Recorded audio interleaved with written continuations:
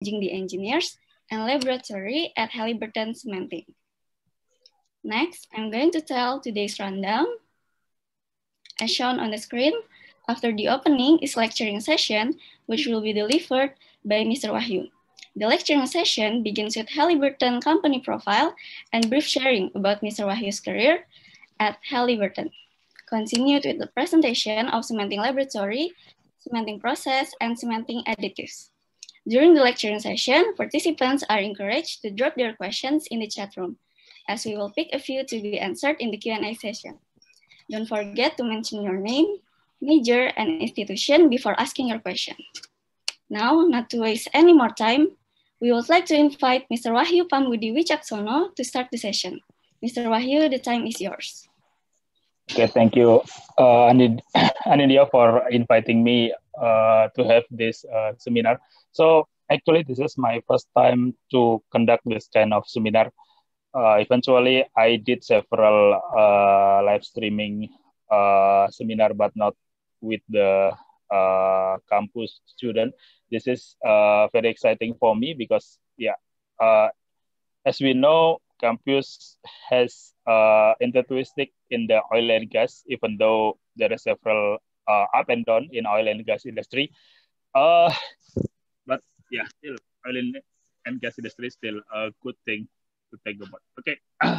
Uh, so i'll uh, share my presentation or it will be shared by it will be shared.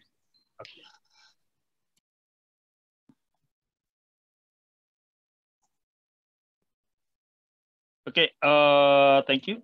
Uh, so this presentation actually will covering uh, cementing design and uh, challenge uh, on the oil well drilling. So uh, basically the cementing services is not only for oil well drilling. As we know, we have also uh, remediation. But on this presentation, probably I'll uh, start about cementing in oil and well drilling. Okay, next. Okay, so uh, Guido for uh, today's presentation. Uh, first, as an introduction, I'll introduce uh, brief summary of my career, and then uh, I also share about cementing, what is uh, cementing background, and also what is Halliburton, what is our role in oil and gas industry. So first of all, I just would like to know what is the background of the audience. Is the audience always the uh, student member or there was some uh, uh, practitioner or there is some uh, other people that already working? Uh, the background is students. Okay, more student in what level? Uh, first entry, uh, middle entry, or the last uh, year in the school? Uh, it's mixed from first entry to middle and last. Okay, and most of the students coming from chemical engineering, right? Yes.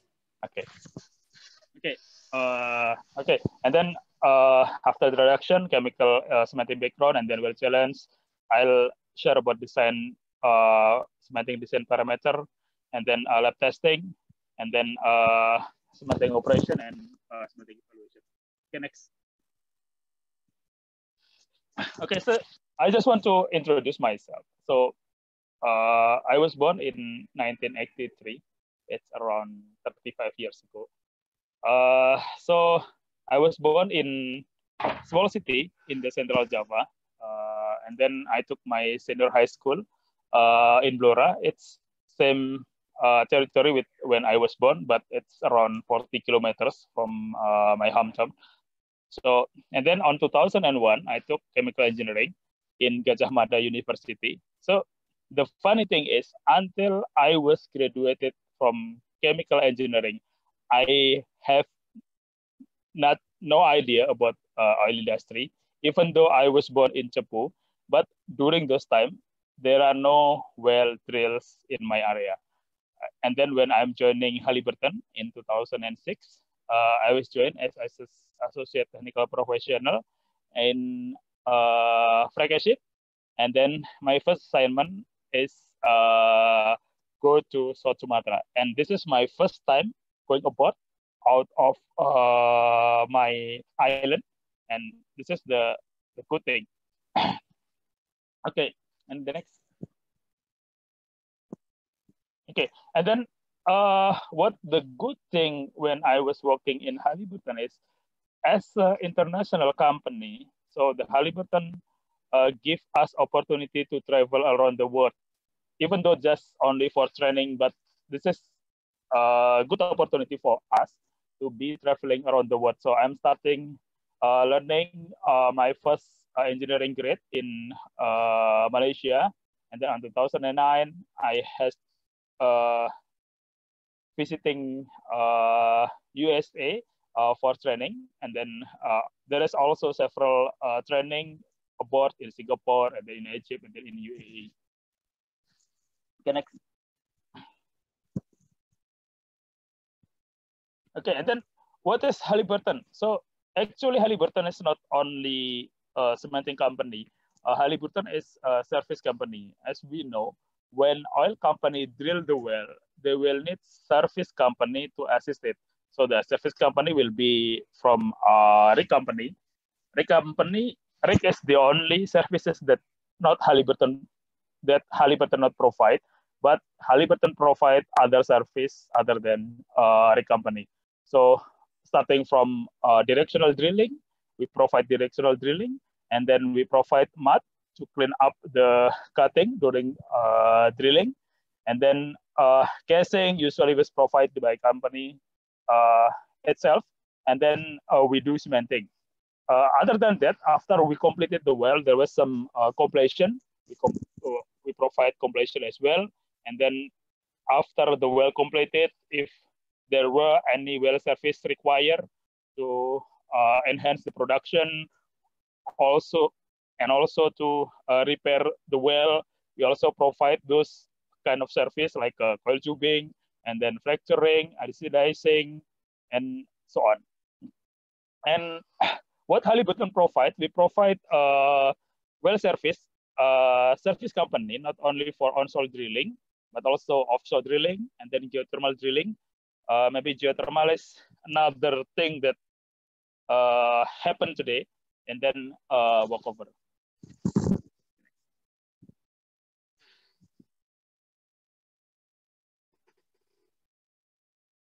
Okay, uh, first of all, I would like to share about the history of cement. So what is uh, cement and why we need cement on the oil well drilling? So the first cement was produced by uh, Greeks and Romans from volcanic ash with uh, lime. And Joseph Aspdin is a, a, engineer from Leeds, England, that was invented uh, Portland cement. So what is Portland cement? Portland cement does it was cement that was made from limestone and clay. So the name of the Portland was coming from uh, the area in Leeds, uh, England, uh, and as we know, uh, maybe some of you already take this uh, school about uh, Portland cement. So this is the process how the cement, the Portland cement was made. So Portland cement basically is made from the limestone and clay, and then it was heat high temperature, and then it was resulting the the uh, clinker, and then the clinker will be uh, grinding, and then it was uh, and adding some uh, gypsum, and then it will create the Portland cement. The next. Okay, so why we need we need uh, cementing for well service? As we know, uh, when we drill a well, we will make a big hole. This hole will be bigger than the casing that was running. So to fill up the gap between the casing and the well, so we put cement there. So what we did, we pump cement from the casing and then uh, it was coming out of the casing and it will fill up the annulus between the casing and the well. Next. So this is the uh, typical casing that was being run. So there was a conductor. Uh, the first casing, usually the conductor was uh, piling. And then we have a and then we drill surface case, uh, surface hole. Usually it will depend, usually a 17 and a half, and then we run uh, surface casing 1338, or probably if we drill 26 in hole, we will uh, run 20 inch. So uh, in oil industry, the unit that was used is the uh, American unit, yeah. So if on the college you are familiar with the meters, with the centimeters, and then kilograms, and then liters. So on the oil industry, some uh, companies still use this uh, type of uh, unit of measurement, but most of uh, service company using the American uh, unit. So for uh, length, usually we use feet instead of meters. And then for diameters, usually we use inches instead of centimeters. And then for weight, usually we use pound.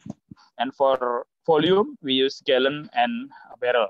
So just my hints, if you want to uh, work in oil industry, just be familiar with this uh, units. So just you need to have some idea how much is one feet, how much is one inches, how much is one gallon, how much is one barrel. So this is just a common sense that we need we need to have before we are entering uh, oil industry. Okay, and then after we drill uh, surface casing, we will set uh, sorry after we drill surface hole and then we set surface casing, we do cementing for surface casing, and then after that we will drill uh, intermediate uh, casing. So the uh, purpose and the challenge between surface and intermediate will be different. So surface casing usually was used to uh, protect us uh, with the aquifer. So after we uh, set the surface casing, usually we will drill intermediate. So usually in intermediate, we will see uh, gas there. So the uh, function of the casing will be protect the gas. So uh, the gas will not uh, percolated and entering the production uh, casing. Then after we drill intermediate hole, and then we set intermediate casing, then we drill production casing. Then after we drill production, we set production casing. Usually we can set either casing or uh, drilling liner. Then we uh, completed the well. Usually we lock if we need to do CBL and then we perforate, then we can produce the well for oil and gas uh, well. But for geothermal well, that will be slightly different because usually for uh, geothermal, we not uh, run and cement production casing because usually production casing was run in the perforated mode. So we don't have to cement the production. Okay. Okay, so this is the uh, the reason why we do cementing the well. So basically, what is the principle, the function of uh, primary cement? So by having uh, cement fluid in the uh, open hole, what we want is we can restrict uh, fluid movement between formation. So if we have a water zone above and then oil and gas zone below, so we can, so on the first time when we make a hole, there will be some gap, right? And there will be some channel between uh, water zone and gas zone. And we don't want this because if we produce the gas and there is a connection between gas and water, so instead of producing gas on oil, maybe we will produce water. So what we did, we do cementing. So between water and gas zone no longer connected. So there was an isolation. That's why we need uh, cementing for production casing. And then other than that, uh, we also want to support the casing as well because uh, if casing was exposed with the uh, oil environment, with the water environment, the casing may can get corroded. So uh, by uh, having uh, the cement, we can protect the casing, and then we will have a much longer production time. And then the other use of casing, sometimes if we want to reduce the load that was held by casing, we can have the cement as well. And sometimes if there is a low circulation or there is a safe zone, usually we do cementing to seal the low uh, circulation. Okay, next. Okay, so uh, let me start with the how we do cement design. So basically, uh, we as cementing will have this data from the customer. So customer will give us the data where they want to set the casing and then uh, what type of cement they are gonna use. And then uh, they will also let us know what is mud that uh, was used to drill this well as well. Because the idea is we have to remove the mud. So we will leaving the hole with the cement instead of with the mud. So uh, this uh, casing depth was designed by, usually was designed by uh, customer, as a cementing engineer, we have to know why we have to set this casing in this depth. And uh, if we think that it is necessary, we change the depth of the casing, we can uh, give this give this uh, information to customer as well, so we can advise them. Maybe we have to change the casing depth. Maybe if we have to change the uh, mud density. Maybe if we have to change the cement density as well. Okay, so from this depth, we'll have uh, two uh, cementing section. The surface casing is uh, 40 meters. Uh, so usually on the surface casing, the type of cement that was used is the hard is the fast setting cement. So usually they just run 15.8 or 16 ppg. And then after that, uh, we will set intermediate casing. So for this intermediate casing, usually the formation is uh, little bit soft. So the cement density that was used uh, for this uh, section usually is lighter than the uh, first uh, cement uh, surface. So in cementing, actually, there are there are no rocket scientists. There is only several things that we have to remember from what we have in college. Uh, first of all is uh, so um, maybe many of you already take the uh, process transfer uh, uh, material, right? So on the process transfer, there was a material when we can calculate the friction. So uh, that's that's actually this is the the key of the cementing is to ensure that we still have uh, safe working pressure during the job. So maybe you can continue to the next slide. Okay. So on this slide, you will see there was a data of uh, pore pressure and fracture gradient. Uh, why this data is important? So on this data, uh, we can ensure whether our fluid will be safe or not.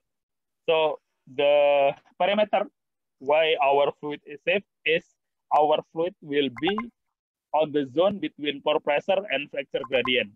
So uh, as I mentioned before, uh, we, we know on the process transfer, we can calculate the friction, right?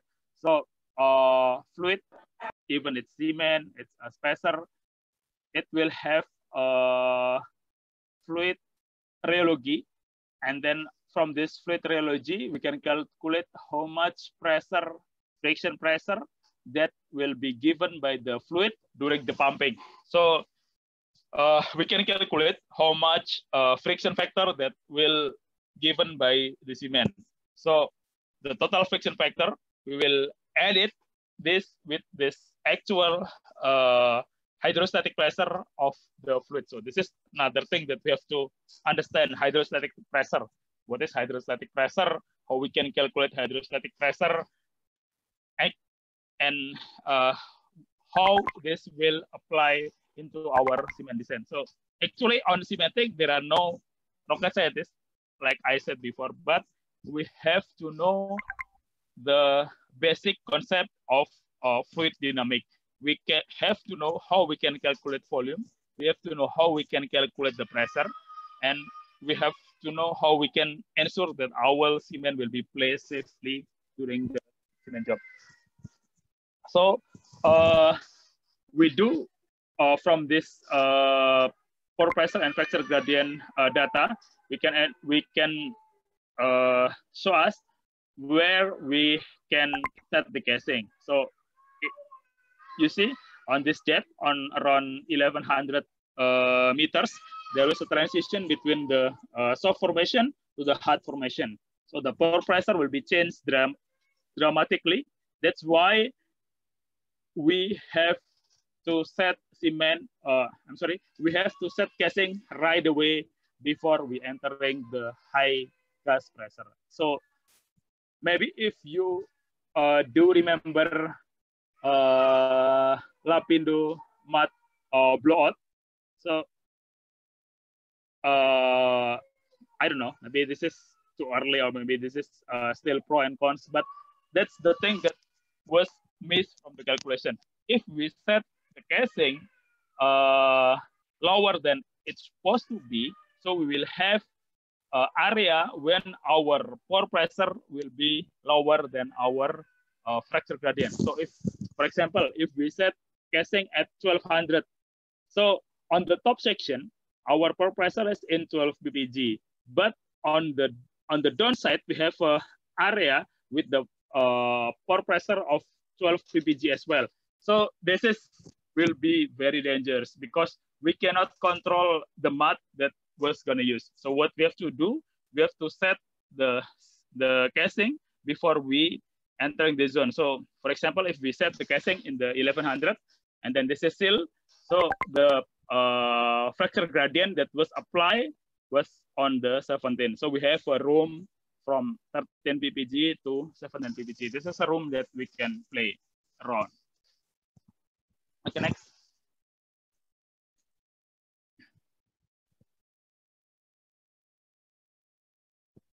Okay. Okay, so other than uh, this pore pressure and fracture gradient, another thing that was important on the cement design was uh, temperature.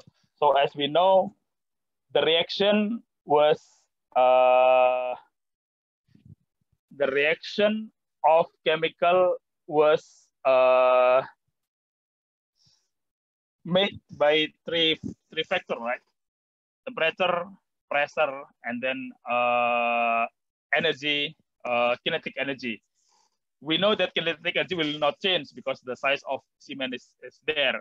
The pressure will be depending based on the depth, and also the temperature will be also depending by the depth as well. So for designing cement, we have to know uh, where is the uh, spot that we will uh, design. So we will have a, so for example, if we set the casing in the 900, so we have to ensure that our cement will be safe if we pump at 900 meters, meaning that from this uh, temperature profile, we know that the uh, temperature that was exposed on the 900 meters is around 160 degrees Fahrenheit. So we have to test our cement in this uh, temperature. Okay, so okay, next.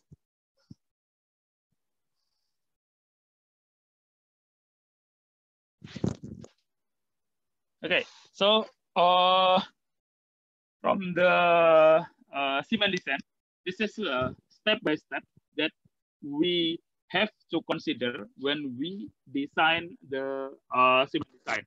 So first of all, we will calculate how much cement volume that we are going to pump. So the cement volume will be calculated based on the placement, the final placement of the cement. If we want to have cement on the annulus from the feet, then we have to calculate how much volume that gonna need uh, to be placed from the uh, TD to 500 uh, feet uh, depth. So we have to calculate how we have to see what is uh, annulus on this depth. So if there is a casing to casing, if there is open hole on casing, or if there is some shoe that was left inside the casing, we have to calculate it all of this. And then for placement, so after we pump cement, we have to pump the displacement fluid as well to be able. So once we pump the cement, so top of so the the tail of the cement will be on the wellhead, right? So we have to displace it down below. So the top of cement, the end of the cement will be on the shoe track, on the root of the casing. And then we can calculate how much volume of cement and then how much uh, volume of displacement. From this volume, we can calculate how many time will be required uh, for this job. So from this time, we will design how much the thickening time. Uh, so uh, maybe many of you not know what is thickening time. Thickening time is a time that was uh, determined when the when the cement is in liquid uh, stage. So as we know, so probably if you see cement on your daily activity, your cement is the is made of cement, uh, sand, and water. But if we use this type of cement, the cement will be unpumpable, right? Because it was not fluid. So the cement that was used on the oil industry is liquid version. So uh, we will only have cement and water. So for your information, uh, why on the cement density there was 15.8 ppg cement density because this is the, the ideal condition of the cement when cement and water in the uh, ideal proportion. So uh, as you know, same like in in uh, building uh, business. So the ratio of the cement and water, uh, two volume of cement and one volume of water. So with two and one uh, ratio of cement and water, we'll have 15.8 ppg slurry. So this is the the ideal condition of the cement. So this 15.8 cement slurry will have specific thickening time.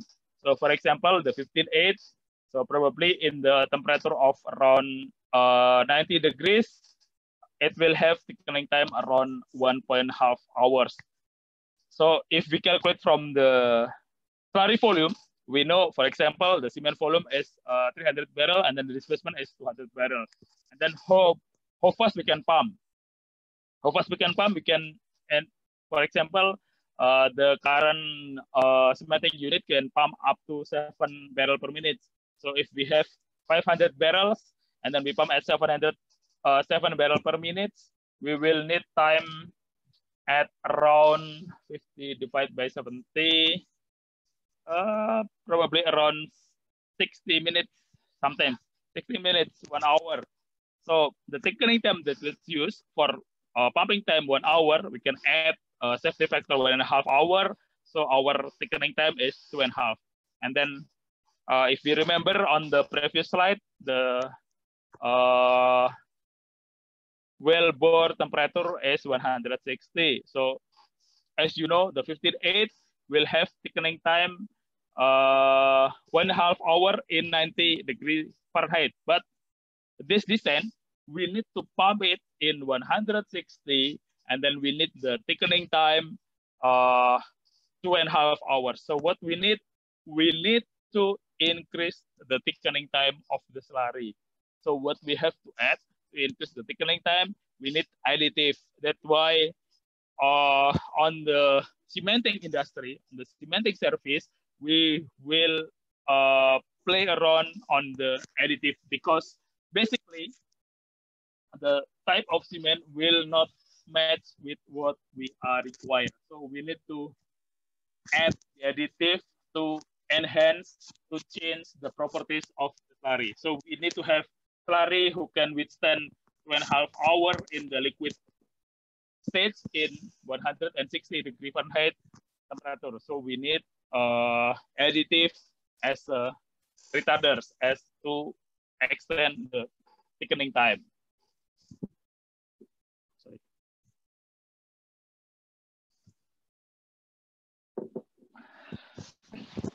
Okay, and then uh, I will uh, talk later on the uh, equipment that was used to test these uh, parameters. And then after that, uh, when we pump, the cement will have a tendency of rheology. So sometimes if the rheology is high, is too high, we will have more friction, meaning that we will have more possibility of uh, increasing uh, recirculate circul equivalent circulating density. That's why we need to add another additive to make the cement uh, thinner than it's supposed to be. So that's why we need additive like a dispersant. And then if uh, during mixing, sometimes there was some air enter to the uh, cement. We don't want to uh, have this air. We have to add the defoamer on the uh, cement slurry. So that's about the slurry volume. We have to know how much volume that we uh, gonna be pumped, and then we have to know how much uh, time that we need for safety uh, factor, for safety uh, safe uh, pumping time. And then from this volume, we can calculate how much horsepower that we're gonna need.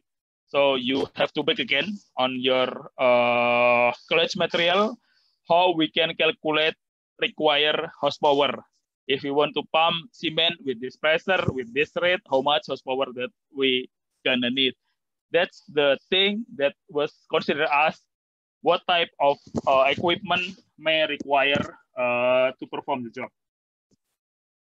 Okay, and then the pressure calculation, uh, this will be depend on the how much pressure we will see, how much pressure we are expecting, and then uh, on this uh, scenario, we can be we can ensure that our uh, pumping schedule is safe. Uh, so it's always below the fracture gradient. And then well requirement. So in some condition, we need to see the fluid loss because as you know, uh, additive may have tendency to uh, losing water with the permeability with the permeable zone.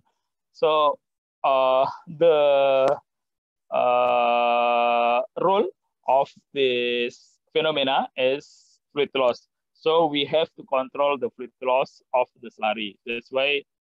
So why we have to control the fluid loss of the slurry so if the slurry have is losing so many water, meaning that the water and cement ratio will be different from what we have on the lab testing. So like I said before, uh, we have cement and water ratio to have thickening time, for example, two and a half hours.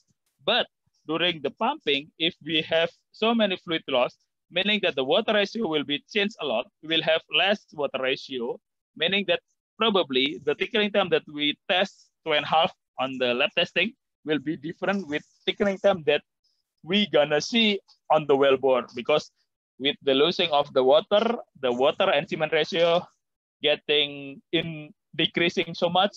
So probably it will resulting the thickening time may gonna be decreased from what we design. That's why we need fluid loss on the additive. And then next is uh, slurry compressive strength. So like I said before, the ideal cement density is 15.8. So what if we need to have lighter cement density? For example, uh, 13 ppg. So what happened? So the easy thing for us to reduce the cement density is adding the water, right? By having more water and cement ratio, we will have less compressive strength. So if we have so much water and cement ratio, probably the result, the cement may not get hard. So probably the cement will be always soft, never get hard, because the cement is not uh, having uh, ideal water and cement ratio. So uh, we need to add additive to enhance the compressive strength of the slurry by what? So sometimes we can add a lightweight additive like a glass bead. So we can have, so we can put the uh, additive with low SG so we can reduce the water requirement. And then we can end up with the uh, high compressive strength. Or we can introduce another additive, like we have a, a silica oxide, we have calcium, uh, material material that can increase compressive strength of the slurry. And then the last of the list, uh, last but not the least, is the static gel strength. Static gel strength. So during cement period, when the cement was uh, transforming from the liquid states to the solid states, there was a stage, stage when the slurry was on colloidal form. On this colloidal form, the cement will lose his uh, hydrostatic force, meaning that when there was a gas on this period, so the cement will be uh, will enable to hold the gas. That's why uh, there will be uh, gas migration.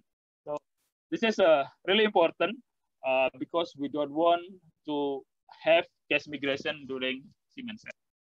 Okay.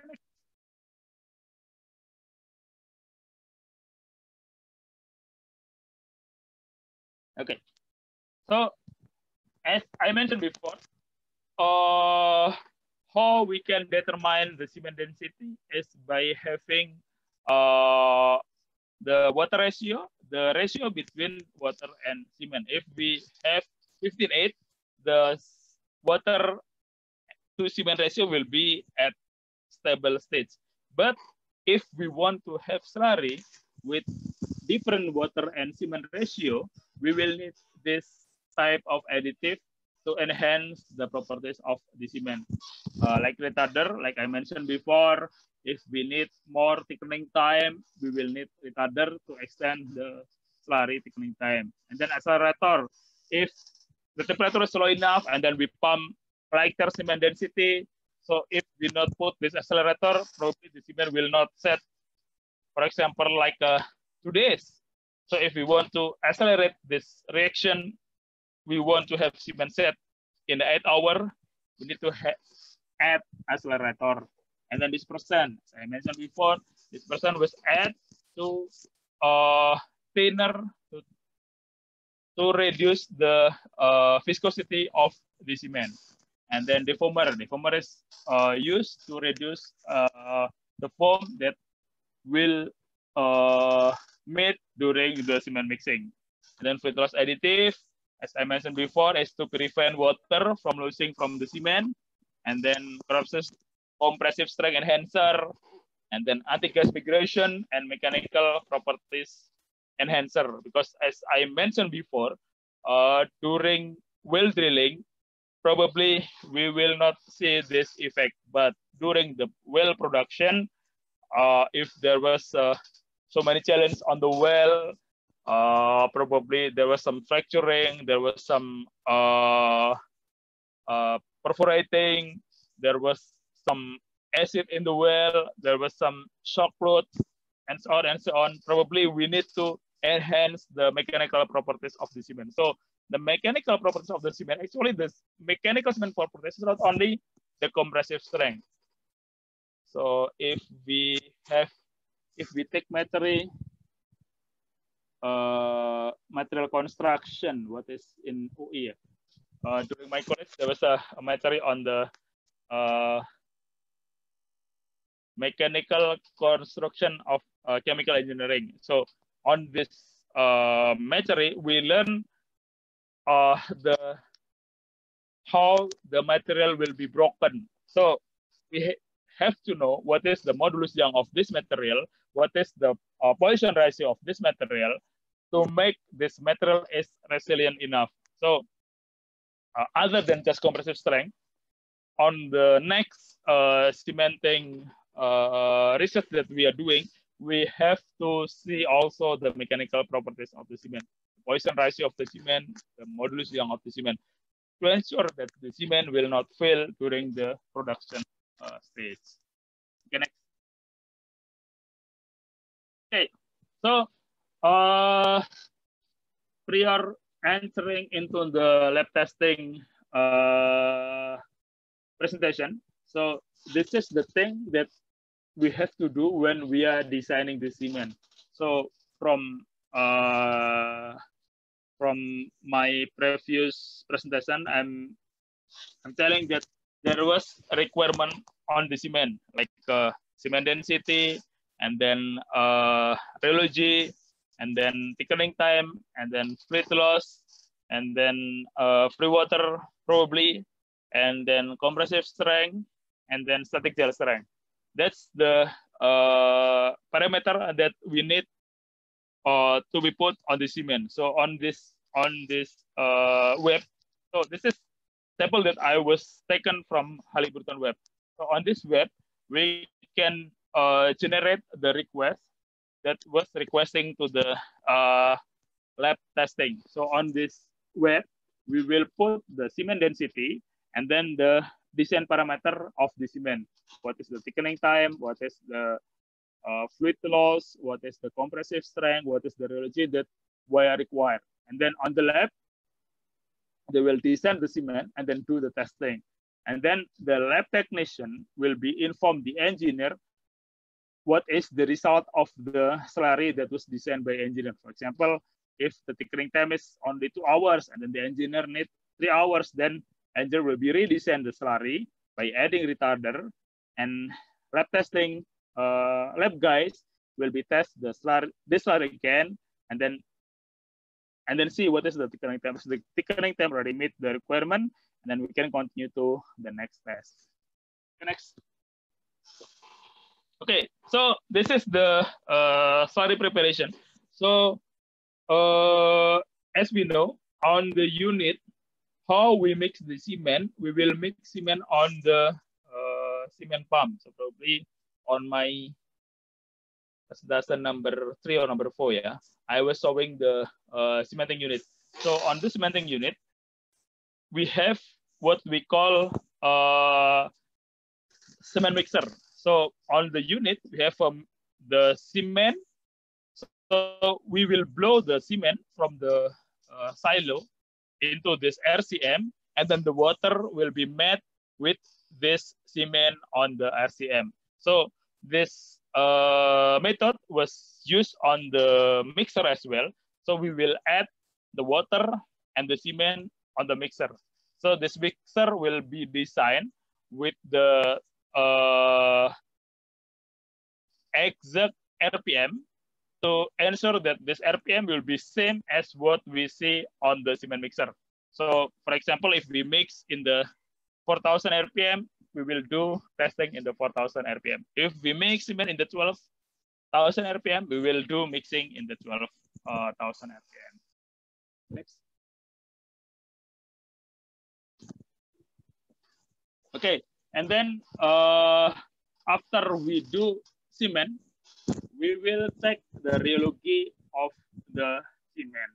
So just for information as well, during the process transfer uh, material, you will know what the fluid regime.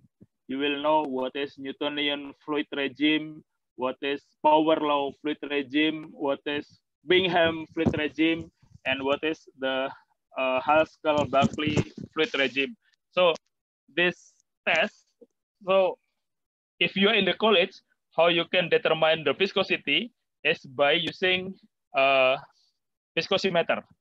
But the cement, as it is not Newtonian fluid, so the rheology of cement, the viscosity of cement will be depend on the uh, movement of the slurry. So we will test this uh, slurry with several speed, starting from 3 RPM up to 300 RPM to see what is the the uh, gel strength, what is the strength that was read by this uh, this uh, equipment. And then from this result, we will input this into our simulation to simulate what is our uh, expected, what is our calculated pressure that we're gonna see during the cement job.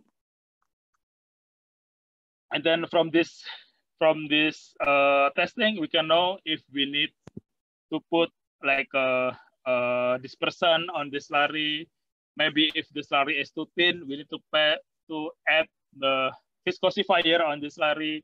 So we will design how the slurry will be look like. So this parameter, so we will see the rheology of the slurry. Next.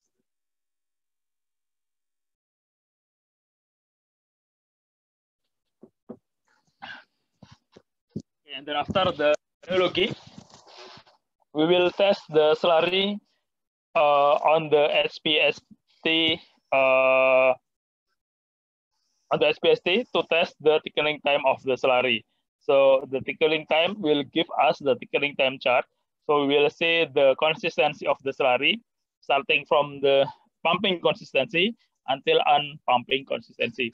So on this uh, thickening time, we need to input the temperature and also the pressure for this uh, unit. And then the result that we'll have is the consistency. So we will see how long it will take from the slurry, from the pumpable state until it unpumpable state. So the unpumpable state, uh, if API recommendation, it was 100 uh, Bearden consistency. But from Halliburton, we use the safety margin. So we use 70 uh, Bearden consistency as unpumpable, unpumpable state. So the time from the uh, starting point of the test until it was reached 70 BC is the thickening time. So this thickening time should be longer than our pumping time. So if uh, we have like a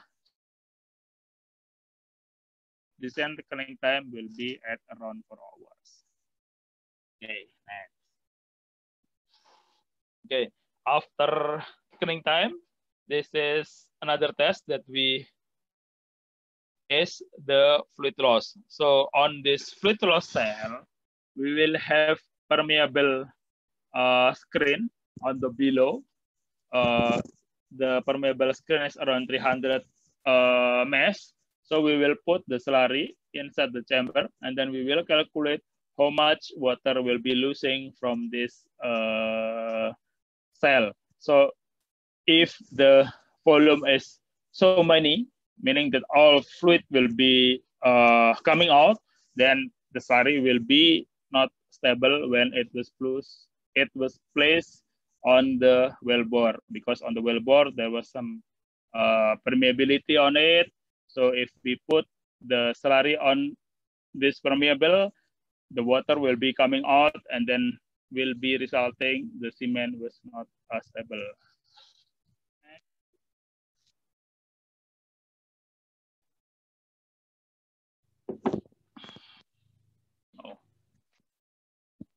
Still long, so maybe we can extend the question and answer session it may end in next couple of minutes. The next is uh, the compressive strength. So the compressive strength is to uh, so during our laboratory, so I don't know in uh, University of Indonesia we have this experiment.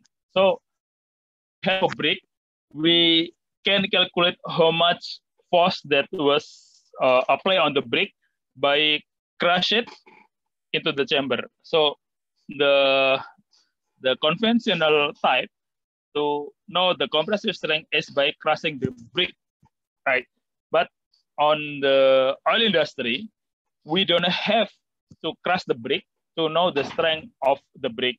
So uh, if we remember on the uh, physics school, uh, there was a, a change on the uh, speed of the fluid of uh, I'm sorry, there is a change on the speed of the sun when it was uh, passing the the material with the different har different different harness. So this uh, parameter was used on this test. So we will have this uh, this chamber, the UCA the UCA uh, compressive strength. So we will put this uh, sun frequently, then we will measure the harden of the cement by the time where the sun was traveling from the uh, emitter to the receiver. So on this chart, there was a, a transit time. So faster the time that was required to move the sun from one point to another point, it will reflecting the harden of the cement. So if it's starting from like a transit time in it's in 35 minutes it will end in 20 minutes. So this is the time when the cement was moving from the liquid states to the uh, solid states and hardening states next and then the last one is the static gel strength so the static gel strength this is to ensure how much time that was required from the slurry from the uh, liquid states that was changed to the uh, solid states. So the uh, time that was required from uh, 100 uh, pound force to 500 pound force, it is the transition time. So from the API, uh, they are recommended the time that was required from the slurry to move from 100 to 500 pound force should be less than 45 minutes. So by having this short time, we will have our cement will be stable enough. So the gas will not circulate it on the salary. Okay, next. Okay, I think this is the presentation uh, I don't know if I already cover all of your needs or there was several uh, question that you will need to address. Uh, because this is my first presentation. I don't know if this presentation already meet your requirement or there is another thing that you need to know. You can just ask me and then I'll try my best to answer your question. Okay, let I'll return this session to the moderator again. Okay, thank you, Mr. Wahyu, for sharing your knowledge with us and giving such an informative and interesting presentation. So the participants have gained their insight about Halliburton Company and Cementing Laboratory. Now we will now begin the Q&A session. So it, it looks like there's already a question from Raihan Izzat from Materials Physics, Universitas Indonesia. Uh, for Raihan Izzat, can you un unmute your mic and ask your question? Uh, yeah, sure. Okay. Um, am I visible right now? Yes. Right. So, um, uh, afternoon, Pak Wahyu. Uh, thank you yeah. for um, attending this uh, session. uh, so, um, actually, I would like to ask uh, two questions for today. Um, um, as we all know, uh, Pak Wahyu is a technical professional at uh, Halliburton. So, I would like to ask something about um, cementing. Okay. Today. So um, as we understand, um, uh, they have higher temperature compared to uh, conventional wells. Um, I think it's around 180-ish degrees to 200-ish, but I'm not really sure though. So um, what measure does Halliburton has to offer um, to be able to hold the well integrity while the cement is heated by the formation? Um, I think in uh, in most papers it is stated that uh, if the cement expands, it will uh, correlate to the external pressures induced by the uh, stresses. And um, I think uh, the volumetric expansion could actually uh, turn out to be overpressure, and that would result in the collapse of the casing string. so, what do you think, and how can Halliburton help that um, particular problem? And uh, the number two question is that if for some reason the casing shoe uh, measure depth is um, located in a heavily fractured formation, how do we do the cement job without getting much losses to the formation? Does Halliburton have a special cement slurry mix to combat the fractured zone, or do we just have to play with the weight of the lead and tail uh, cement slurry? Just change the PPG, you know. Um, thank you. Good day, Pak Wahyu. A tough question. Okay.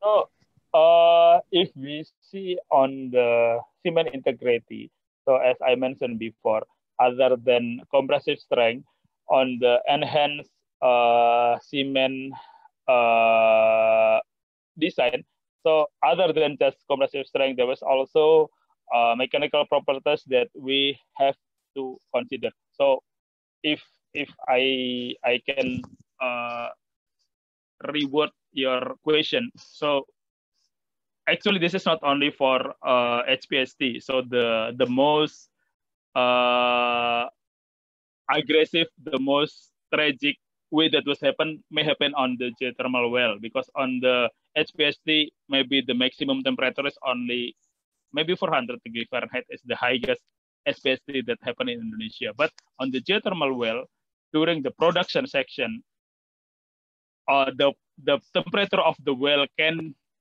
be up to 350 degrees Celsius. Maybe the, the hottest geothermal well that I ever observed is in Lahendong. It's around 350 to 400 degrees Celsius. So during this uh, temperature, so what happened to the casing? So as uh, metals, casing will have the uh, uh, elongation by the temperature. So if the temperature is increasing, the casing will be elongate. What happened if the casing was elongate enough? So meaning that if we have the, the cement with high compressive strength, as we learn, higher compressive strength will cause the cement to be brittle. So if there is any movement on the cement, if there is any change on the elongation of the cement, the cement will be fail. So what we have to do, we have to design the cement elastic enough so the cement will be following the elongation of the casing. So if the casing is elongated, for example, 1%, the cement has to be elongated also in 1%. So this concept was used in our geothermal cement design. So we have to design the cement to be elongated enough so it can following the elongation of the casing. So the cement will be will be elongate, cement will be elastic. We need to have we need to put some additive on the cement. So the cement will be elastic. So when the casing was elongated, the cement will be following the elongated. So instead of the cement and casing was falling down, with this elongation, the cement and casing will be stay together. So this is the uh, design that we was approaching to maintain the uh, high temperature that we are observed on the geothermal. Okay, and then the next question. It's answer your question. Uh, yes, sir. Thank you. Um, uh, actually, um, I heard from a paper and some discussions from uh, professionals that uh, the lasting campaign in Sokoria had a different cement slurry additive in geothermal drilling and to cement the tieback production casing. But I wasn't really sure uh, which uh, cement property should be played to um, to overcome the problem. And uh, yeah. you happen to uh, answer the question. Yeah. Thank you. So, so this is the the application that we uh, tend to uh, propose. So in geothermal, there was several geothermal there was several geothermal in Indonesia. So like in we starting from the Salau, Salawan, I think, starting with the Sarula, the high temperature Sarula, and then we have uh, Ululais, Ulubelu, uh, Sungai Penuh, and then uh, Lumut Balai, and then on Java we have uh, Karahabodas, we have Kamojang, we have uh, Gunung Salak, we have uh, Gunung Derajat, and then we have uh, Wayang Windu, and then we have Ijen, and then on as well. Yeah, and Dieng, we have Patuha, and then on uh, Maluku, we have Flores, and then we have Orca, we have Sokoria, we have Sorik. This area has its own specific. So, for example, in a regular uh, geothermal well, if we just use regular cement, it will stay there forever. For example, like in in Ulubelu, uh, in Lumut Balai, we don't need to treat the cement uh, special. But in some area, when we see the temperature is uh, so high, when we see the the production is so high, that's the that's the time when we need to introduce a new parameter on the cement. So, for example, if we just use the regular cement, uh, density with the common modulusium, the cement, like I mentioned before, when the casing was grow, and then the cement will not following the growth of the casing, and then the cement will be collapsing the casing, resulting workover that was required. But if we can maintain the mechanical properties of the cement, so the cement can following the uh, expansion of the casing. So when the casing is grow, the cement will be following grow. So in this uh, condition, we will have uh, more longer uh, cement time. So, for example, for for sure, the first requirement will become from customer, right? So if customer doesn't doesn't consider this area will be uh, high temperature enough, so probably the slurry that was used will be regular slurry. But if in other hand, if the customer require the slurry to be different, the slurry to be have more uh, mechanical properties, then we can enhance this mechanical properties. So something like that. Okay, and then the second question. So if we set the casing into the fracture formation. So, so actually, if we are dealing with the fracture, we have to see is this fracture can be cured by lightening the cement density or not. If the fracture is there, for example, if we just drill cement with the if we drill the well with the water and we see the fracture, that even with 8.3 ppg slurry, the formation will enable to hold. So the thing that we do is we have to uh, improve this uh, fracture. So we have to cure these losses by pumping cement or by setting LCM, and then we will drill again this formation and then see if we can improve the uh, the formation, the uh, stability of this formation. If we cannot improve the stability, so we have to set the casing higher. So we cannot set the casing in this depth because the requirement of the casing set, the casing should be set into the basement. The casing should be set into the hard formation. If the casing was set into the soft formation, the the idea of setting casing will be not met. So we have to set the casing lower so we can spot the the uh, cement plug below, and then we can set the casing above it. For spotting the cement plug on the low circulation, there is several uh, method that we can do. We can do, for example, if we can uh, pump the super thixotropic slurry, slurry that was put, stay, and then set, we can, we can use this type of slurry. Or if we need the more aggressive, we can pump, so probably like a sodium alum, uh, sodium silicate with spots of it sodium silicate, we pump cement. When the sodium silicate meet with cement, it will react and it will create cement suddenly. That's the thing that we can do if we have to deal with this uh, type of losses. So for my perspective, if we see the, the big losses, what we have to do, we have to uh, repair these losses first. But if we take the time, if we play with the time, okay, for example, okay, that's fine. We can just set the casing there and then we can cement later on and then we can do remediation after that. That will be uh, uh, option as well. So the option will be come to the customer. How customer will see what is his rate cost, what is his uh, mat loss cost, what is his other cost. So this will be their consideration. What is the next stage that will gonna take to deal with this loss situation? Uh, so, uh, uh, Pak Wahyu, uh, yes. from what I understand is that we, if we cement the loss circulation zones, we would have the cement entering the fractures if uh, the uh, formation is naturally fractures, yes. fractured. Yes. Uh, but how do we do the leak off test after we dry the cement is set and it's dried? how do we do the leak-off test before we drill into the next section, the next casing section? So if that's the condition, we cannot do the leak-off test because the leak-off test. Mm. So actually, the the the reason why we do leak-off test is we want to see the uh, stability of the formation, right? Formation. So if the formation is stiff enough, there are no uh, integrity on the formation where we do the leak off test because if we set the cement plug there and then we drill, what we what we leak off test is the cement.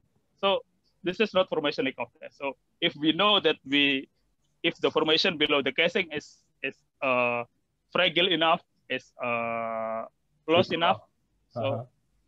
nothing nothing we can do because what we test actually is the leak off test.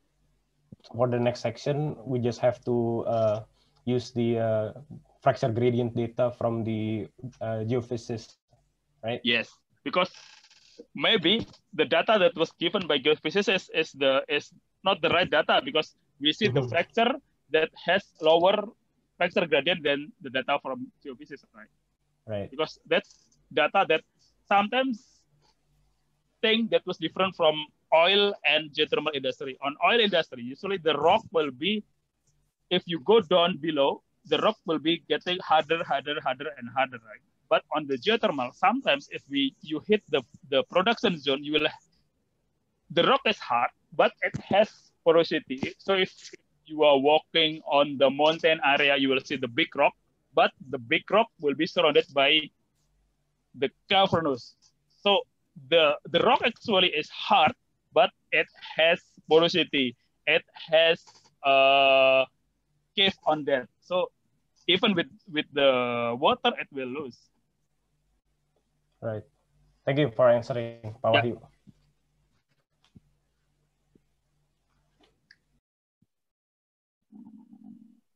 Okay, next question. Yeah, thank you. Now let's move on to the next question. Uh, there's a question from Firman from Chemical Engineering UI. Uh, Firman, may, can you unmute your mic and ask your question? Uh, yes, uh, hello, uh, Mr. Wahyu. Uh, first of all, is it possible for me to ask a question since I'm a PIC? I hope that's no Oh, problem. no problem, no problem. Okay, um, I may not be experienced as uh, Kak Raihan because I'm really new to this cementing process. Uh, I would like to ask uh, maybe a simple question about a thing or two about cementing. So like I have two questions for you right now. So like the first question is, um, you mentioned in your presentation that um, each cement property is conditioned for each geological condition, right? Uh, I mean, like you add additives and stuff to um, change the property of the cement itself to suit the geological conditions. So my question is like, is it any scenario or is it possible uh, to use only like neat cement in which only cement and water is mixed? Like, I mean, you know, a simple cement for uh, the cementing process, uh, usually in oil and gas production, uh, like you just presented. That's my first question. And then the second question is, um, is it uh, is it possible that uh, for each some uh, uh, I, I'm sorry I'm gonna move up uh, move back a, a little, little bit that um when uh, I mean like when we dig deeper uh, the condition properties and structure may be changed right so like the cement has to be conditioned properly for its condition for its uh, geological systems um, like is it possible for each cementing process that we use different composition of the cement instead of just one? Oh, I think that's uh, just for me. It's a simple question, maybe. Thank you very much, Mr. Rohi. Okay. So like I, I said before, yeah. So the cement actually the cement has a specific water requirement. So the regular class G cement, uh, each pound of class G cement will require half pound of water to be stable. So in this case, if we have one pound of cement and adding half pound of water, we will have 15.8 ppg cement. And then this 15.8 will have a specific thickening time, will have specific uh, wait on cement, will have specific fluid loss. So if this properties is meet our requirement, for example, if we just drill For example, like uh, 50 meters, the formation is hard enough, so we can use 15 8 ppg cement. That's fine. We can use this regular cement. We can use just cement and water to be cement our condition. But on the oil and gas industry, most of case, we have to move from this situation. For example, we have to pump longer. We have to use lighter cement density. We have to deal with the porosity, with the permeability. We have to deal with the gas. So the, the regular cement may not sufficient with our requirement. So we have to see what is the requirement of well. So if the well is the requirement is is very low, for example, if just surface casing, nothing special, so we can just use the regular cement. And then, for example, if we want to lighten the well, we can just add the water. But by adding the water, we will change the uh, ideal situation of the cement. By having more cement, so probably this not this water, some of the volume of water may not react with the cement. So there will be some water excess. So that will be some free water on it. So it will very depend on the uh, our well requirement and then how this regular cement will be uh, depend on this well. Okay, and then the the second is it possible to use different composition of cement? Yes. So we can, so the cement that was prepared, usually we only prepare cement for single job. For example, for intermediate, we can only prepare cement for this intermediate. So after the intermediate, we will drill production, we will use different cement. That's, that, uh, the thing that we can, I can ask for. But if the, the cement that you are asking as you know, on the oil industry, other than class G, actually there is another class like class A, B, C, D, E, F. But currently, the the cementing factory only produce class G. That's why we only use class G type of cement. Let's answer your question or you have more question? Uh, that that actually answers my uh, question uh, really really nicely. Um, but I would like to ask like uh, one more simple question. Uh, is it is it okay, sir? Okay, no problem. Um, just like you say, like if we have any excess water, that uh, it's called uh, free uh, free water. Yes. Uh, what uh, I mean, what would the company do if um, there is uh, an, an excess water in uh, cement mixing like do we use the uh, like do we use use the water again like um we use the the free water uh, for the next mixing process or we just uh, waste it uh, uh no i mean when we pump the cement so for hmm. example mm. if we pump 12.5 ppg cement into the hole so if we pump 12.5 ppg cement just cement and water it may end with the cement that was settling so the 15.5 12.5 PPG that was we prepare on the surface will change on the turn side because on the on the down hole the 12.5 will be separated, right? Some volume of water going up and then some of volume of cement going down. So meaning the cement volume, cement head that we designed previously may change. So for example, if we if we design the cement up to 500 feet from the previous casing, but since the volume is decreasing, so probably top of cement will be not on the on the 1500 feet. So if our design is fine, we can mitigate this. The maximum top of cement will be okay. So that will be no problem. But if there is there is a risk if we have change of the on the hydrostatic, it may causing the uh, cement the formation to be fracked, or if the insulation is not as what we require. So if we want isolation up to this depth, but the actual cement in this depth, then it will have uh, the change on the height of cement. So if this change is fine for us, we can use it. But if, the, if this change is not with our require, requirement, then we can use it. We cannot use it. So it is possible for like a free water to cause any unin unintentional formation damage, right? Yes. Okay. Thank you very much, sir.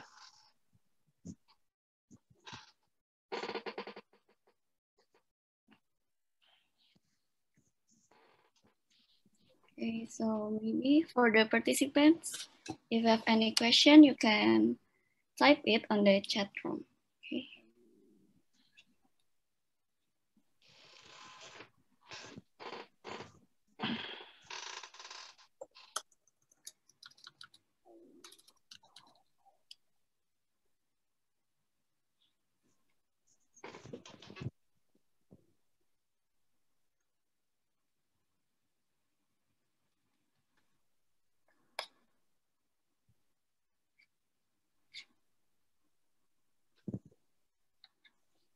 Nothing else?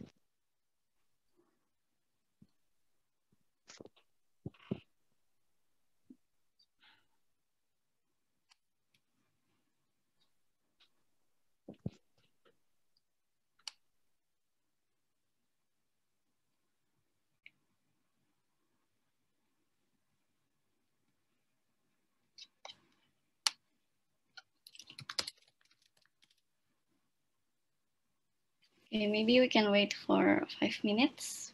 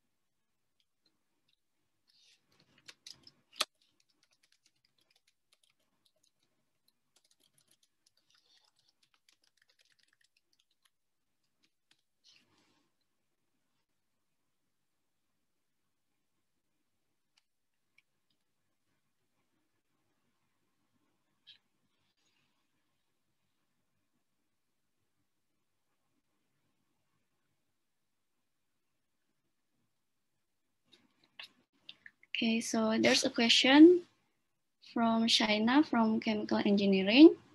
She asks, I am curious on the basic formulation of the cement. How to obtain the base formulation for a cement? What kind of test do you do to make sure that the portion of the additives is just right? Or is it very specifically designed for each well? Is it possible to only use several additives, but not the others? Thank you very much for, for the very insightful presentation. Okay, okay Mr. Wahyu, the time is yours. Okay, thank you.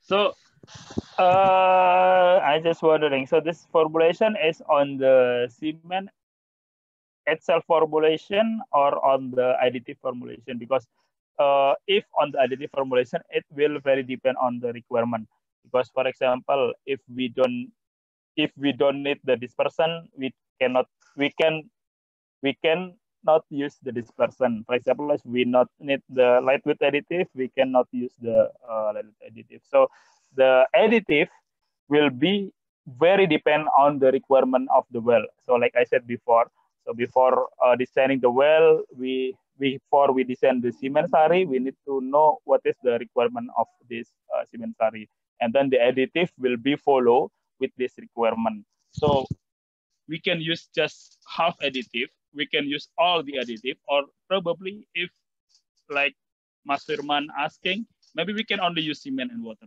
only. That that will be very depend on the uh, well challenge. So if the well challenge is is is slow, nothing specific, yeah, we can use we can choose which additive we're gonna use.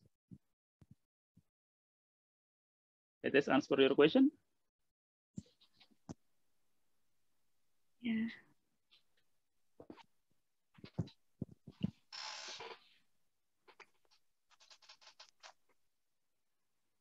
Okay, I think she can I, she can unmute her microphone, so I guess that's answered the question. Okay.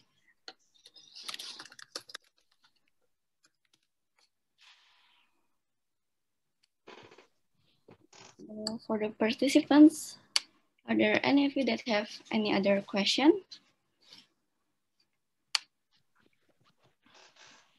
Yeah, okay. If you have any more question outside of this uh, time, please feel free. You can uh, just ask it to this moderator and the later moderator can uh, forward this question to me and then it will be fairly uh, I will try my best to answer that question even at this presentation.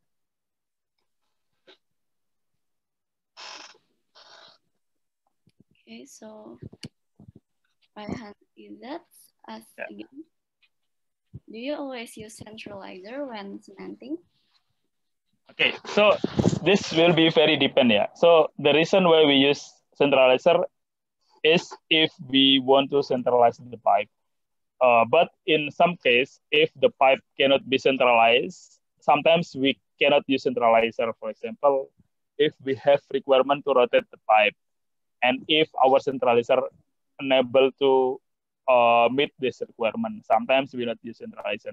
But if we not use centralizer, we will end up with casing that was not centralized into the well. And this is will be very dangerous because if we don't have the centralization, if we don't have the good centralization, the cement may can only go into the uh, high side and it will not go in the low side. Then we will end up with the well that was not fully cemented. So from cementing perspective, yes, we have to always use centralizer during the cementing, but sometimes it will it will be on customer choice if they want to use centralizer or they don't want to use centralizer.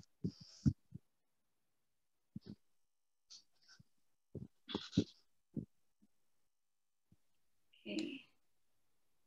So the next question from Nicholas. Hello, Mr. Wahyu. Thank you so much for your presentation. I want to ask about the use of cementing for carbon sequestration. If CCS is to be applied and we are to bury this CO2 in the ground, is cementing gonna be needed? How is it different than the usual cementing for creating regular drilling casing hole? Thank you. Okay, thank you. So maybe this is the new thing, yeah. So any additive, so why we use cement? because cement is a material that was not that was hard to react with any other type of material. But the only thing that can react with cement is uh, CO2. So if we use regular Portland cement and we have high CO2 on the ground, the CO2 will be react with cement. So sooner or later, the cement will be collapsing because the cement is eaten by the CO2. So in this uh, sequence, so actually there is a cement, there is other cement that was not Portland cement. So the cement will not react with the CO2.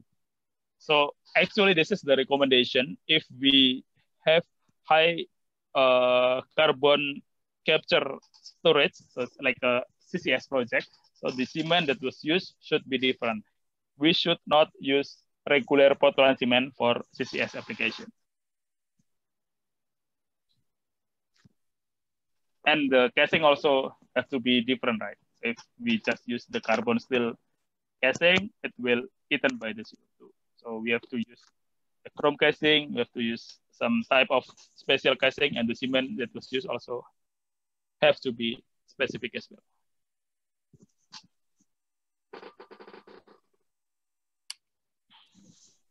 Uh, can I ask a follow-up question, moderator? Yes. Oh ya, yeah. oke. Okay. So, Mr. Wahyu, I want to ask uh, just one more thing, Pak. Jadi kalau misalnya carbon uh, capture kita taruh di tanah gitu uh, dalam CO2-nya, is there like any like sort of technical difference kayak kita harus membuat lapisan semen yang misalnya lebih lebar dan berbentuk misalnya menyerupai salt dome gitu, Pak. Jadi si gas ini ketika dia misalnya dia terpanaskan oleh suhu suhu di permukaan bumi bawah itu dia tidak menguap dan naik lagi ke udara gitu. Apakah okay, ada yeah. seperti itu, Pak? Oke, okay, oke. Okay. Saya boleh menjawab dalam bahasa Indonesia juga ya. Jadi gini, ceritanya. Biasanya kalau kita mau melakukan CCS, biasanya kan kita lakukan survei geologikal dulu. Kita pastikan dulu bahwa formasi yang kita pompa CCS ini sanggup menerima CCS ini. Jadi kalau formasinya itu sudah ketemu, kita akan membuat lubang untuk mengakses formasi itu. Karena pastinya formasi itu nggak boleh merembes ke bumi kan, nggak boleh bocor ke tanah. Jadi kita akan buat lubang ke situ, kita akan drill lubang ke situ. Setelah kita drill lubang, pasti kita akan pasang casing, karena nggak mungkin kita nggak pasang casing. Kalau kita nggak pasang casing, kita nggak bisa pasang casing di atasnya. Kita akan pasang casing dengan ukuran yang lebih kecil, karena ukuran casing dan semen dan lubangnya ini lebih kecil casing, jadi kan kita harus ngisi ini antara semen dan casing. Nah, semen yang uh, dipasang di sini harus cukup kuat karena ketika kita pompa CO2, CO2-nya ini pasti akan masuk ke dalam casing, dia akan keluar di perforasi casing, dia akan ketemu dengan semen yang ada di situ. Nah, ketika kita hanya menggunakan reguler semen, semennya itu lama-kelamaan akan rusak ini. Karena semen tahan terhadap segala sesuatu kecuali CO2. Nah, makanya semen yang dipakai harus semen khusus, bukan Portland semen biasa. Sudah Baik, Pak. Pertanyaannya? Oke, terima kasih banyak Pak Wahyu. Ya, sama-sama. Oke, okay, okay. move on to the next question. And next question is from Julianto from Geophysics UI. He, he want to ask the question about cement bond lock. Is it is cement bond lock affect the lock data? If CBL affect on lock data, what kind of effect that CBL affect on it? Thank you. So, uh, so CBL, cement bond lock. So actually, it is different lock yeah between CBL and regular lock because the result of the lock data they will see the the uh, gamma ray resistivity to see the the formation what is the formation but the CBL the if the regular lock was run before we run the casing the CBL was run after we run the casing so the CBL will can only see the material behind the casing which is cement but if we run CBL, I think it's it's nearly impossible to see the the formation after we set casing. So I think it, it is different logging, yeah. We there is a formation logging, there is a CBL. So CBL and formation logging is two different things.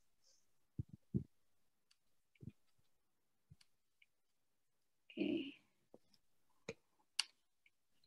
Okay, so for Julianto, does that answer your question? Uh, mungkin mau nambah lagi, Pak. Uh, ya, ya uh, saya Juliana dari Geofisika UI. Mau ya. nanya, Pak, uh, misalnya nih, Pak, ya. uh, ada kita pasang semen nih dari perusahaan servis. Ya. Nah, itu misalnya nih, semennya uh, mungkin bagus, mungkin atau enggak, mungkinnya jelek, atau gimana, ya. itu dia mempengaruhi data, mem maksudnya mempengaruhi pembacaan data dari uh, petrofisik gak sih, Pak? Enggak, karena data petrofisik itu harusnya di run sebelum pasang casing. Jadi nggak nggak ngaruh itu jadi dia dia selesai selesai bikin lubang dia run logging formation logging baru dia pasang semen. Jadi harusnya sih nggak berpengaruh. Cuman yang berpengaruh ketika kita tidak berhasil melakukan isolasi ketika kita melakukan cementing yang nggak berhasil hasil CBL-nya jelek mungkin water zone dan oil zone ini berhubungan ketemu jadi ada komunikasi ketika kita perforasi di oil zone yang keluar malah airnya jadi itu yang menyebabkan sebenarnya kenapa hasil CBL ini mempengaruhi produksi. Oke Pak, mungkin itu aja. Terima kasih ya Pak. Oke. Okay. Okay, now to the next question. It's from Rehan Yudhat. So his question wasn't completed yet. So he asked, do you always use centralizer when doing a cementing job in the deviated wells? Because sometimes the cement bond log shows that on the kick-off point and build section, the cement bond is poor. How do we combat this? Can it be done without the centralizer, but just playing with the cement properties? And how do we do remedial jobs or top job when the casing is not centralized? Okay, so this is the, the tough question. Okay, so actually the cement slurry will act just like the cement slurry. So the slurry as a liquid, they will they will always moving on the on the high side of the well. So if we have a well that was not centralized, so the well was uh, hanging on the on the some part of the well, and then it will create some channel. So the, the cement will be only placed on the white side. So there are no cement on the low side of the well. Then nothing we can do. There are no additive that can make cement entering this low side because the cement is cement. It will always go onto the high side. It will never go on the low side.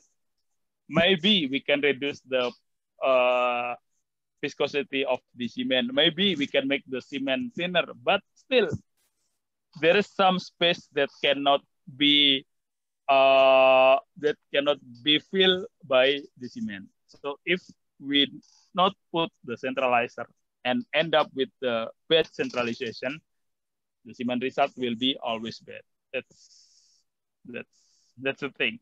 That's the thing that will always happen. And then how we can remediation. So actually the remediation will be much tougher than the primary cement job. If we cannot move the cement during the primary stage, how we can move it on the uh, remedial stage? Because on the remedial, maybe we don't have the full circulation. So the thing that can happen probably is spotting the the the uh, plug on this several depth, but it has to compromise also with the casing uh, integrity as well. Because if we do remediation, we perforate the casing, we will end up with the cement with the casing that was not fully uh, fully fully good on the first time. So the thing, rather than we we spend a lot of time, a lot of resource to improve this well.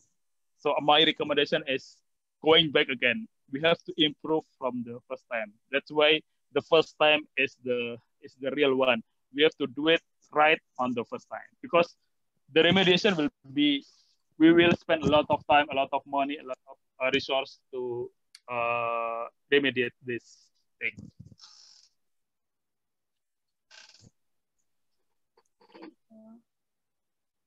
Uh, Raihan, is that does that answer your question? Yeah, actually, uh, terima kasih Pak. Ya. Uh, mungkin Pak Wahyu uh, mau nanya juga, kalau misalkan kita casing stringnya itu pakai tieback gitu ya Pak, atau pakai liner di bawahnya gitu, jadi nggak nggak fully digantung di apa wellhead gitu ya. Ya. Itu gimana caranya Pak semennya gitu? Apalagi tieback kan sangat kompleks Nah. gitu ya. Jadi sebenarnya sih kalau liner itu meskipun casingnya di bawah tetap ada open tetap ada drill pipe di atasnya. Jadi dari atas disambung itu nggak mungkin cuma bawahnya aja. Jadi dari liner disambung pakai drill pipe. Jadi kita pompa dari drill pipe keluar ke liner. Sama dengan tieback. Tieback kan sebenarnya kan cuma nyambung yang liner itu tadi kan. Jadi ketika kita selesai semen job, drill pipe-nya dicabut, liner adapternya dicabut, tinggal linernya aja di bawah. Ketika kita running tieback, disambung lagi itu di atasnya. Kita run tieback, nyambung dari liner atas. Jadi ya pompanya sama. Oke Pak, jadi mungkin kalau uh, kita pakai tieback, cementing jobnya jadi dua kali ya. Jadi si productionnya sama si Betul, dua Uh, kali. Liner job, tieback. baru tieback job. Oke, sip. Makasih banyak Pak. Ya, sama-sama. Okay. So for the participants, maybe are there any other questions?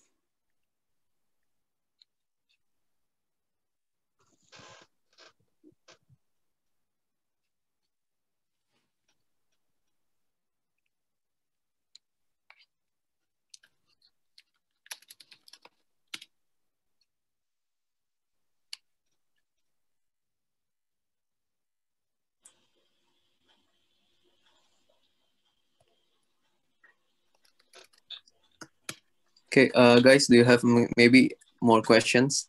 Atau saya boleh nanya lagi ya, Pak Wahyu? Boleh. Boleh, Pak. Ya, jadi saya ingin bertanya, Pak. Em, jadi geothermal itu kan perkembangan di Indonesia sepertinya digadang-gadang ini ya, Pak. Em, kita ada em, besar potensinya di Indonesia Timur dan lain-lain. Namun dari jadi waktu itu saya dan ada rekan saya juga di sini kita sempat magang. Namun bukan di Halliburton sih, Pak. Kami di Slumberjaya, tapi Ya. kurang lebih kita tahu juga kayaknya gimana. Dan katanya geothermal itu membutuhkan kondisi yang lebih ini ya Pak, kayak mungkin yang Raihan bilang HPHT. Dan kalau geothermal itu biasanya precaution apa sih Pak yang diambil oleh cementing companies? Dan juga saya penasaran tuh Pak, kalau geothermal di di di tempat yang remote gitu, gimana sih cara bawa equipment kayak truk segede tadi untuk cementing? Mungkin Bapak boleh cerita seperti apa di lapangan gitu Pak. Itu saja dari saya Pak pertanyaannya. Terima kasih Pak.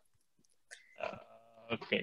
Oke, okay. jadi kan kalau mungkin kita balik lagi ke basic geothermal ya. Mungkin kan ada beberapa kuliah tamu mengenai geothermal. Apa itu geothermal? Mungkin saya juga uh, tidak terlalu paham mengenai hal itu, tapi sedikit banyak saya tak, ya saya ya saya tahu aja kan.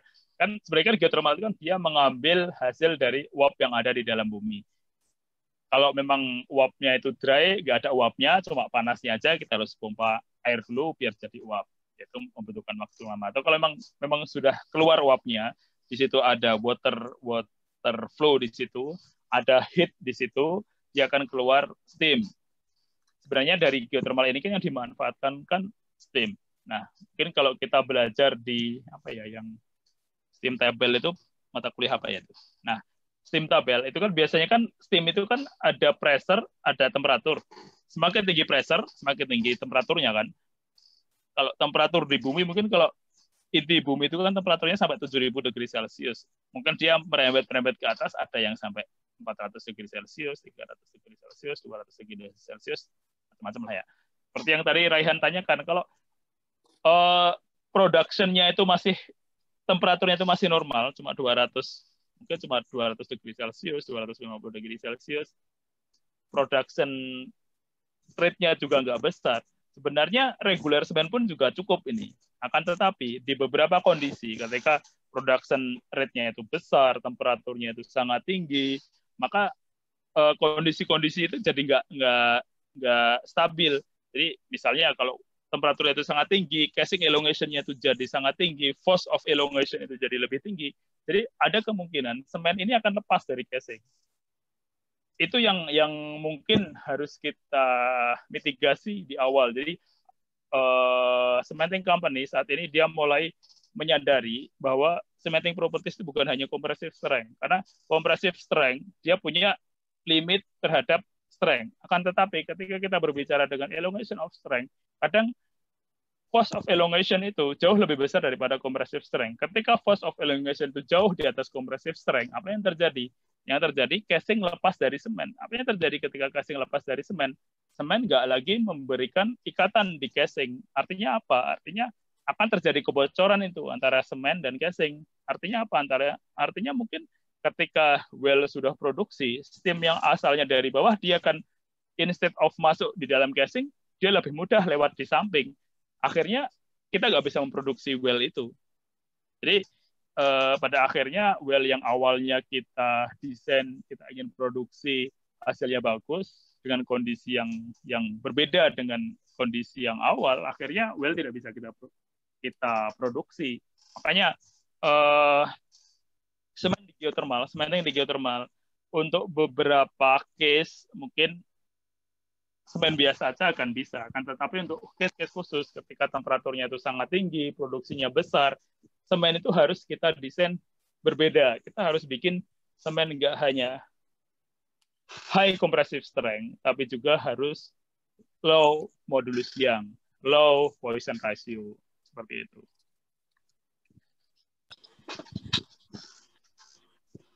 Oke Pak, uh, mungkin kalau yang tentang truk-truk itu Pak, kalau oh, iya, tempat iya. yang terpencil itu Pak. Oke, jadi untuk geothermal industry, karena kan kalau mungkin selama bersih punya IPM, Halliburton punya IPM, nah di IPM itu kan, jadi kalau kita membuat sumur, seumpama ngebor satu sumur, sebenarnya biaya terbesar untuk geothermal itu bukan ngebor sumurnya, tapi membuat akses ke dalam sumur itu karena kan alat-alatnya tadi kan bisa dilihat besar-besar banget kan. Kayak truknya itu 40 ton kemudian silonya itu besar. Jadi ya memang kita harus membuat akses jalan ke sana. Nggak bisa diangkat pakai chopper itu nggak bisa. Dia harus dibuatkan jalan ke sana. Jadi memang inilah yang mungkin jadi PR pemerintah ya. Mungkin uh, geothermal itu kan adanya di gunung-gunung. Akses gunung-gunung itu tidak mudah. Jadi investasi untuk membuat geothermal itu bukan hanya ngebor sumurnya, tapi juga bikin jalan ke sananya juga. Seperti itu. Oke, baik Pak. Uh, terima kasih ya Pak. Ya. Okay, thank you Mr. Wahyu for answering the questions from our participants. Now, I guess uh, that's enough for the Q&A session. Maybe if other participants want to ask, maybe they can they ask you through email or? Sure, sure. Sorry, uh, you can ask through you, and then you can forward it to me as well. You can contact uh, the PIC of this event. Yes. And you will answer it outside. Inshallah. okay, so thank you, ladies and gentlemen. Finally, we have come to the end of our virtual lab visit. On behalf of SPEUISC, I would like to once again thank our speaker, Mr. Wahyu, who has made the time to share his amazing insights for us. You truly enhance our knowledge about cementing process and technology at Halliburton Cementing Laboratory. We would also like to thank our audience for your participation during the session. Hopefully, the information that has been shared throughout this virtual lab visit will be useful for all of us. So, Mr. Wahyu, would you like to add a few words to our audiences? okay, uh, maybe just uh, uh, small talk yes. Okay, okay. So oil industry is up and down. So probably this is time when oil industry is in the in the low side. So probably if we see uh, back uh, before oil industry is, is not as good as what happened before. But I believe other than oil industry, actually this this uh, industry is not only about oil and gas. There's another thing like maybe we talk about is about geothermal. So probably if there is a future oil industry is not really that good, there is still uh, geothermal. So if SPE, Society of Petroleum Engineers, so probably it can be changed by Society of apa ya? of drilling engineer because that's not only about the petroleum. There is a geothermal, there is another thing, or maybe there is a CCS, there is a thing. So actually this drilling industry is not only about petroleum. It's also about geothermal. It's also about CCS. So probably there is a new thing. Maybe right now we know that Indonesia is producing 40% of nickel around the world. So probably, I don't know, maybe sometimes we will drill for nickel. So this industry has to move, not only for petroleum. Okay, thank you, sir. So before we end the session, I would like to ask all of the participants to fill out the QC.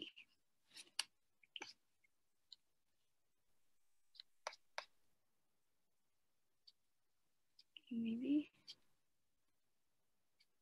Okay, you can fill the QC through the link on the chat room.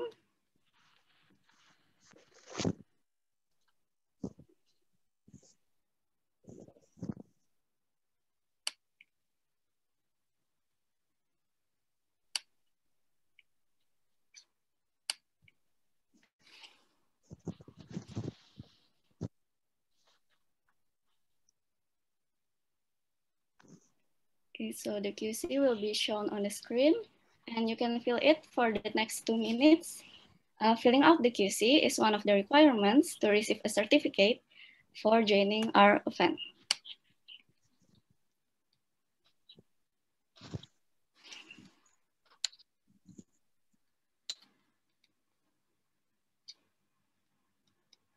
Okay, so while we wait for those who are still filling out the QC, I would like to introduce Mr. David Nicodemus, Project Officer of PGD UI 2021. For Mr. David, the time is yours. Uh, okay, thank you, moderator, for uh, this time. Uh, first of all, uh, good afternoon, everyone. My name is David, and I'm here to introduce you one of uh, our event. As you all know, maybe uh, our annual event, one of Indonesia's most prestigious energy and process engineering event, which is PGD UI or Process Engineering and Energy Days University of Indonesia. So uh, yeah, maybe you have uh, already uh, uh, seen our publications in social media, in LinkedIn or in our websites. We have already opened the registration for our three competitions.